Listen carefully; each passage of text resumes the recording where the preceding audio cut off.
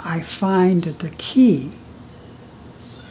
to fulfillment happens when I let go of my agendas and embrace this present moment.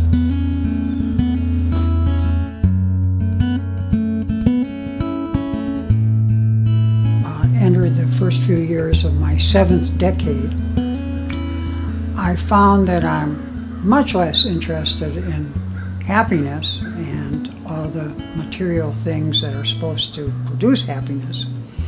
And rather, um, but I'm very intrigued with this notion of fulfillment. uh, being filled up, being satisfied. Fulfillment, in my perception and my experience, arises from within. It's something that comes out of one and out of one ways of uh, one's way of living, and also on how one relates to the world and all that's in it. To or hold on to pleasant feelings. And if we can only hold on tight enough, they won't escape.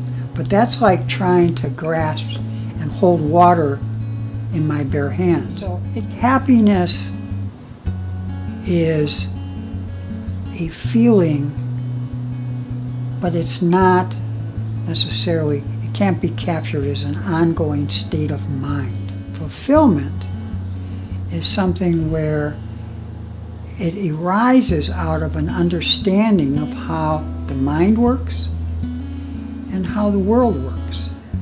But fulfillment means that we are present with whatever arises. Right, and even fulfillment is not an ongoing fixed process.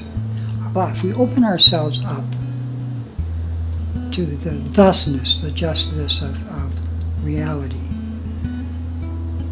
we can experience more and more fulfillment in our life.